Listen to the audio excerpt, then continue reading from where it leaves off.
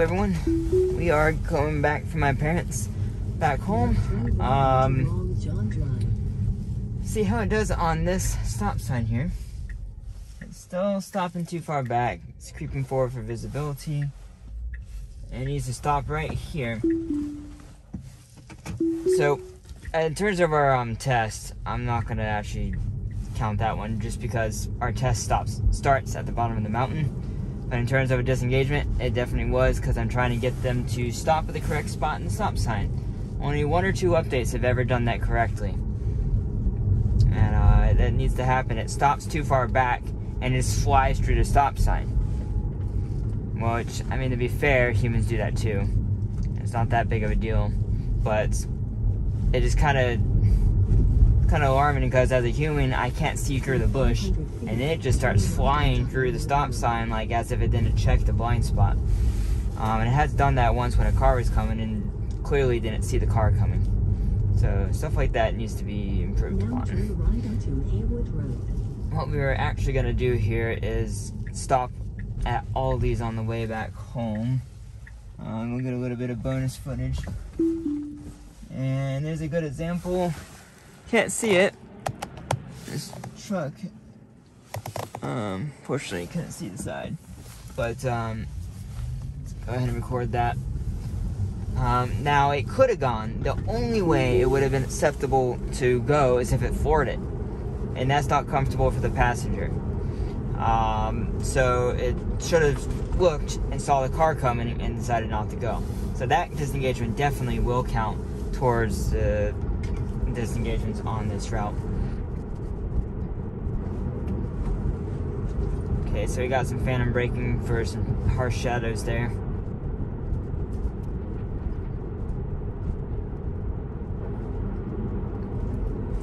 Phantom braked again right here.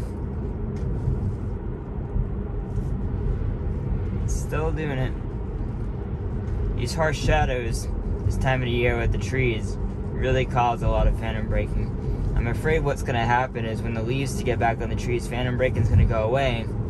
And then you're like, hey, phantom braking's solved. But it's not really solved. Um, and then it's going to be a fall again, the leaves going to fall off. And then phantom braking is going to be worse than ever. Uh, just because it was never it was never resolved before uh, leaves came back on the trees.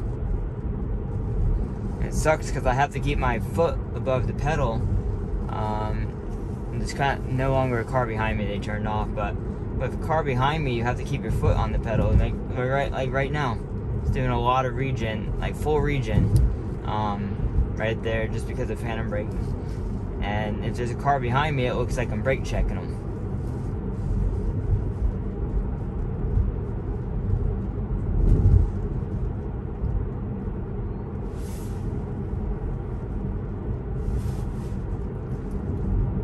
we have a stop sign coming up here.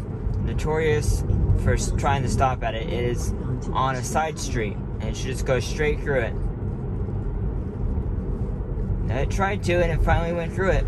Uh, it saw it and thought it was needed to stop, so that's good. That's an improvement. Now the problem is there's been updates where it would it would cross that one update, it would do it right, and then another update it would do it wrong. So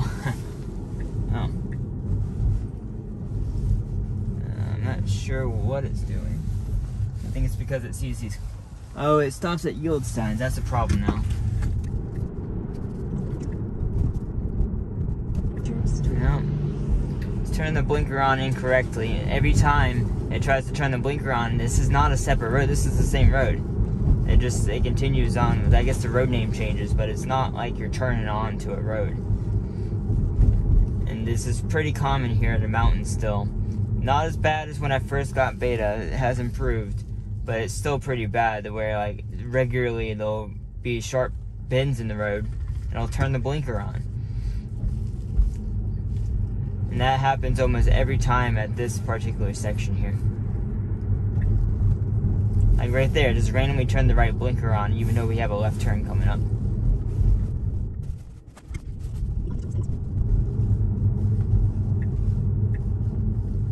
Okay, turn the blinker on and turn it off. That's confusing the people behind me. Is like, well, is he actually gonna stay in this lane or not? So speed limit went back up to 35 when it's really a 20 right here. And it's still using poor map data. Of course, it's the same map data as, as always. And it still doesn't read that sign.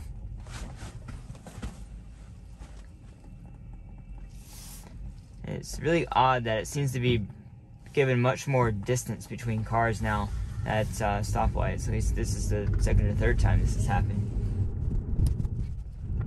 and then it doesn't speed up appropriately. While the speed limit says 20 in this section, as a human, you're to start speeding up. It's 45 right here.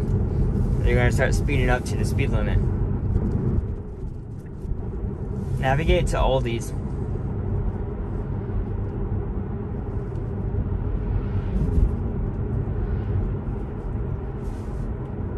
Navigate to Aldi's.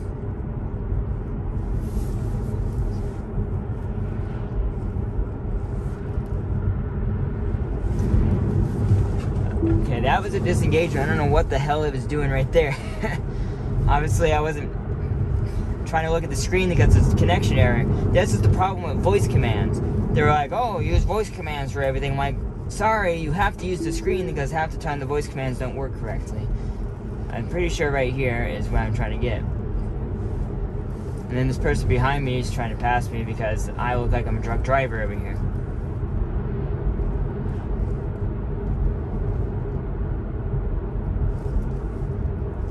Anyways. Okay, well, uh, we're going to count that as a disengagement just because the car's being so slow. This is part of self driving. If the car can't make decisions quick enough, that's not going to count. Now turn left onto Duncan Hill Road. Okay, guess that's going to work. There we go. Okay. Yeah, so that, that type of situation, like, the voice command wasn't going to work and then it was like the screen wasn't loading up. Like, I know how to get there, but like the car doesn't know how to get there. I'm like, I, I shouldn't have to like, as a human, like I could be in a robo taxi. I'm like, hey, I need to stop past this grocery store. Take me here real quick, and then I'll be take five minutes and I'll be back out. Like, the car can't just like think about it for 30 seconds and blow past the road it needs to turn on. It just needs to go do it. Uh, it can't have that type of delay, and so that's.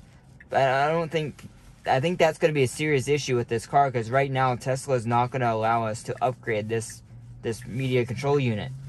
Uh, that I hope will change once the chip shortage is um, is past us if the chip shortage is gone and there's plentiful amount of computer chips and they still person got so close to me my goodness uh, if the chip shortage is done for like tons of chips um, and we still can't upgrade the computer in this car that's going to be a big problem because it goes against their mission Your destination will be on the left. it goes against Tesla Tesla's mission of uh, accelerated the transfer of sustainable energy. Destination is on the left. Yeah, you get it. But right here, we're not going to count that disengagement. But um, yeah. So by allowing my car to um, upgrade the computer allows it to last longer. Um, eventually, there's you're gonna run out of these computers that are eventually gonna break and not work correctly. And so it's only a matter of time. Like I, I want to keep this car to the wheel. Like it literally just stop. It's not worth repairing anymore. I'm keeping it 20 plus years, so it's gonna happen. Um, yeah. So it's something we have to do. Um, and we should really push for with Tesla to make sure we can upgrade these computers and this car will last as long as possible. I do intend to get a second Tesla before, like, and I'm just going to keep this for 20 years. But, um, yeah. Enough for my rant, but uh, that drive wasn't great um, so far. We have a little bit left of this drive, and I'll see you once we're back out. Okay, everyone, we are headed back home. Normally, we would have a person right here. Okay, that's not going to count. Uh, you're good to go. Okay, I'm not sure what was going on there. It doesn't turn wide enough at this turn. I've disengaged at least a couple dozen times. left onto Four And the, and since I got the beta program at at this turn, and only one or two times out of all of like the 20 plus times I've done this turn has it ever done it right. It's so odd to me. Like it just launches out, pauses. I'm like, oh, what should I do here? Let's turn. so I, I'm not sure what's so difficult about that turn. If I mean, if anyone wants to point out something I clearly can't see, I don't, I don't know what's so difficult about that turn. But it's it's not doing it well. Uh, never has done it well, for that matter. And many times since I disengage, it doesn't correct it. Now turn left onto Four Seasons and it can insists on getting in this lane, unfortunately. Let's see if it'll correct this turn. Yeah, so that's better. Uh, last last update made it go half in the other lane. You can tell it made a tiny bit of hesitancy for that car that passed in front of me right there. And otherwise, uh, very good. Um, again, I don't like being in this lane um, uh, when we're trying to get onto the highway up here. It just, especially, uh, this isn't like super high traffic right now, but that being said, it's just, it's, it, it leaves a lot um, of room for error up ahead.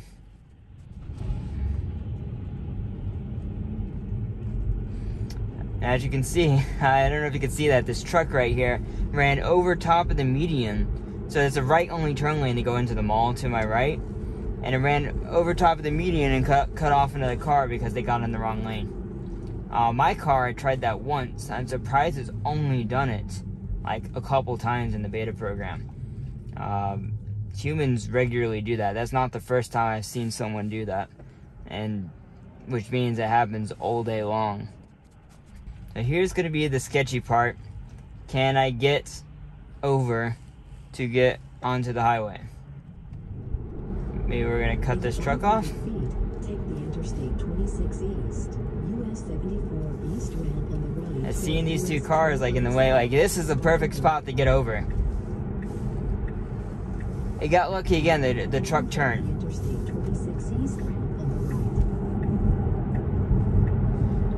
It gets lucky. Like I, I just, if that truck kept on going and it didn't get over, it would it would have just gave up and went past. I, I would have took over and got cut in between. But it's just, it really shouldn't stay in the left lane because very often I've done that myself. Actually, when I first started the drive, um, I wasn't aware where I was going and didn't get in the correct lane ahead of time. And yeah, that's this when I first started driving is right before good smartphone navigation. So you didn't have smartphones and GPS. Like that wasn't a thing. I had a smartphone. It was like an old Windows mobile smartphone, but it didn't. I didn't have data on it. Um, it was it was very early in the smartphone age. Like even the iPhones didn't have maps or of any kind at that point. And so it's not like I had any way of navigating. I didn't have a normal GPS, TomTom or anything. So I just had to know where I was going. So that type of stuff happening. The car has relatively excellent maps to navigate. It knows where to go based on that. I can follow these maps and know exactly what lane I need to be in. And so this car should be able to do the same thing.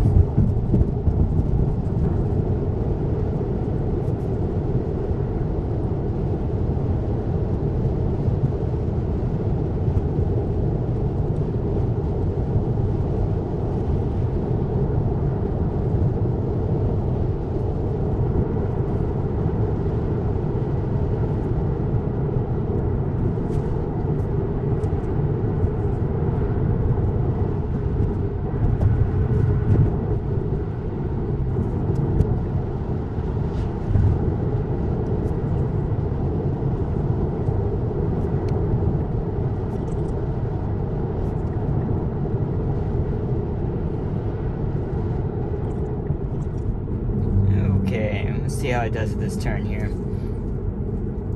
Yeah, so the beginning half of this video, as you can see, not great. Uh, and that just has more to do with like the software glitches in the car and less to do with the full self-driving. but it's still very much applicable to a robotaxi. Uh, and if this car is supposedly is going to be a robotaxi, I don't think it ever is. Um, Elon is really okay. We have to, we have to push it forward. There's a car behind me. Um, I, I, I think they have backtracked on that, and I don't think this particular car is going to be a true driverless robotaxi. Guaranteed legislation or something is going to be like we need more compute power, something I don't know. Um, and they're going to be like, yep, you're going to have to either pay. I don't know. So the, something that I have a feeling that's what's going to happen. Put it on record. Um, I am certain this car will get level three. Um, I'm pretty certain it's going to get that, but um, it is not going to not going to do. Uh, it's definitely not doing level five. It might level four is still up in the air. Um, definitely going to have a level three in this car. I do level four is the, is the question mark whether or not this can come pick me up wherever I am in its current state. I think they're going to need some type of hardware upgrade, whether it's computer, camera, or something. Most likely just a computer. But we'll see. We'll see. Obviously, I'm not a, a AI engineer, so we'll see what happens. Let me know what you think down in the comments down below, everyone. I'll see you on the next video. Bye.